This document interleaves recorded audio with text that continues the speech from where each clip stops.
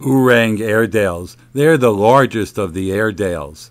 Here's a mom, just had 12 puppies. And here you're going to see some of the puppies at 8 weeks old. Now these guys will range in size anywhere from about 55 pounds to, gosh, close to 100, maybe even over 100 pounds.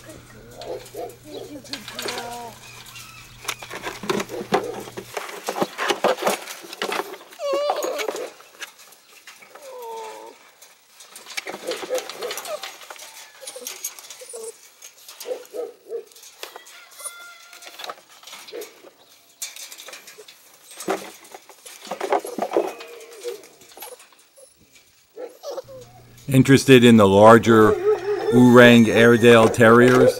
If so, get a free subscription to our blog today. Thanks for watching.